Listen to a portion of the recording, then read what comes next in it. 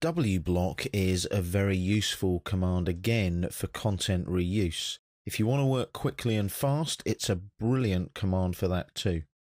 As usual, we have a drawing set up for you. So there's O3 write block W block complete. You'll be looking for write block W block.dwg. We're still using the same chairs and table as per the previous video. Now what I'm going to do is write block the chair block. And what I'm going to do there is then make changes to that W block that I've created and then bring it back into the drawing.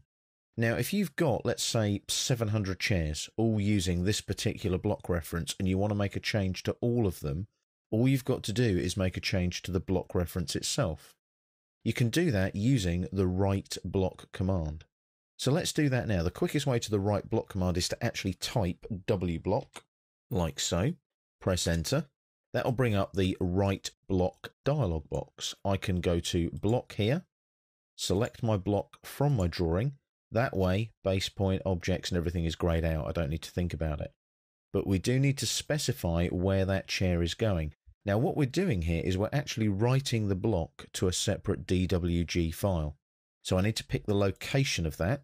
So as you can see there, it's taken me to a folder where I might not want them to go. So I go to the folder where I need it to go, which is content reuse and drawings. I'm going to save it in there as just chair.dwg and click on save. So that's there. That path is there. Millimeters is the units. I click on OK. See that little flash top left corner?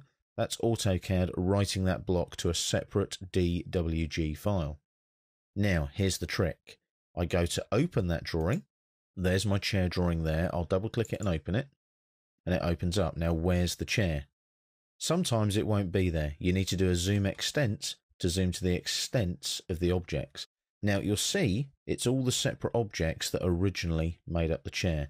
Now I'm going to make one change to this and what I'm going to do is add a little sort of angled chamfer to each arm of each chair.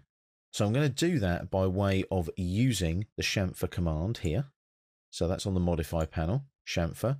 And I know that that distance from there to there is 125. So I'm going to right click and go distance and put 125 in, enter, Second chamfer distance, also 125. I'll just press enter to accept it.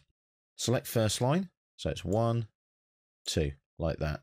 Do the same the other side. Right click, repeat chamfer, and one, two, like that.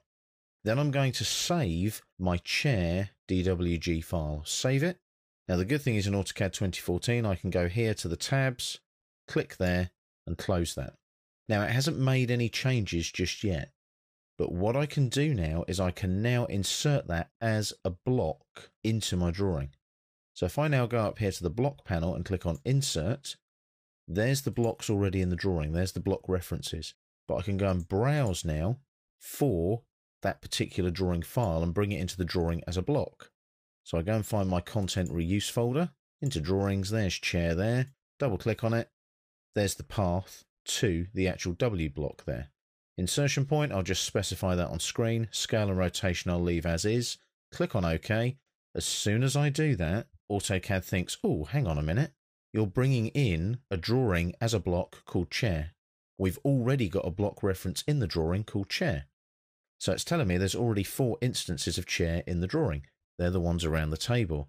I want to redefine that block. So I click, it redefines the four existing blocks around the table there's my block there, click and bring it into the drawing. Now I've brought that in on the wrong layer, that's no problem. Just quickly change that to chairs like so and hit escape to deselect. I'll make sure that chairs now is my current layer so any more chair blocks I bring in they're on the right layer.